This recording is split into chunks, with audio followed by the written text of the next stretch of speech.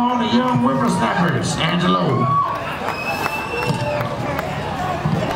I see some babies out there. Little and fucking small and shit. Y'all all right out there? Everybody okay? I see them. Okay. They ain't old enough to drink yet. They can't go to the club.